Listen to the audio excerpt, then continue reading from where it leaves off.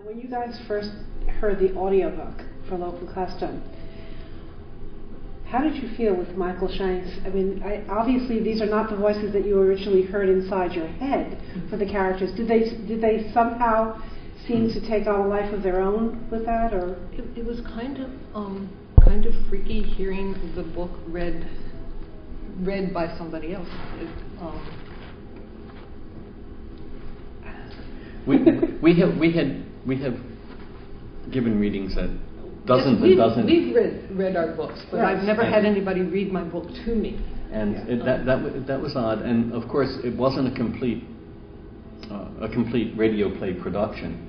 And listening to how he was able to differentiate the characters without doing a did a- whole lot of voice tricks. No, he he did a wasn't really Well, I think good on- job. Or You know, that, I'm not sure whether I ever told you. You know his, who his favorite character was in that book? Is Petrella. He loved Petrella. he said, "This is the one he wanted to meet." No, I, she's a really interesting lady. Um, you don't get that bitchy without you know a lot of experience behind you. The other's kind of sweet, you know. Michael likes rough, a little bit Right. rough, rough, and Petrella can certainly do that. So I was kind of I was just wondering. And uh, actually, I am a huge fan of your stuff. I mean, without a question of a doubt. And strangely enough, one of the, cr- the races that you created that I love is the clutch. I was wondering, how did you come up with that?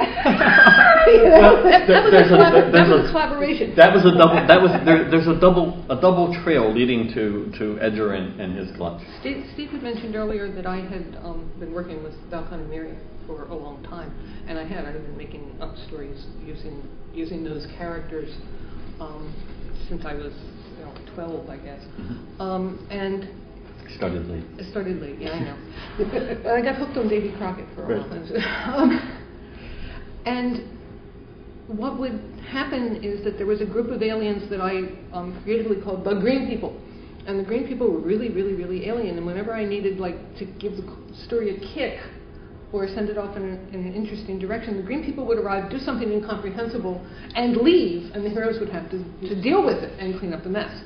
Okay. Now we had when we when we met, I I was much more published than Sharon had been. I had a number of stories and amazing, and I had been working on novels, and I had I had been really moving, or, uh, attempting to move in my own direction, and I had created a character named uh, Honest John. And Honest John was an insurance salesman. Great character. Honest John was an insurance salesman, uh, which meant in this particular world he was an insurance salesman. And one side what meant it was said insurance, and the other side of his card said assassination. And um, that was part of his insurance for you. You know, if you're having really big problems, sometimes he'll just sell you regular insurance. But if you really need insurance, he'll take out your trouble. Or if somebody, or if you thought somebody would be gunning for you, he would he would engage to protect you, and that was also part of his insurance business.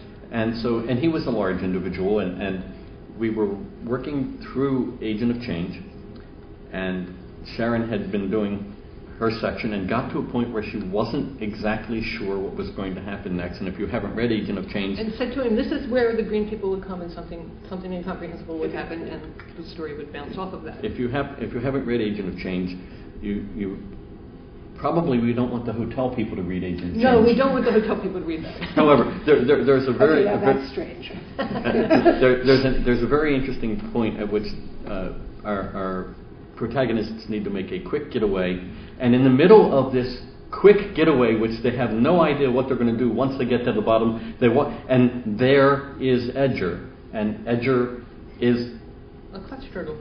A clutch turtle, and um, it, it kind of came together the combination of Sharon's Green People and our my very very large and inscrutable character, and um, there there they were.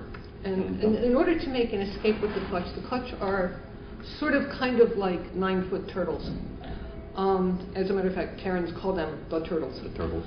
Um, to make an escape with this creature um, means you walk very slow, you run very slowly to all exits.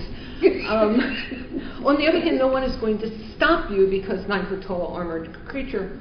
Um, they will walk through you if they need to.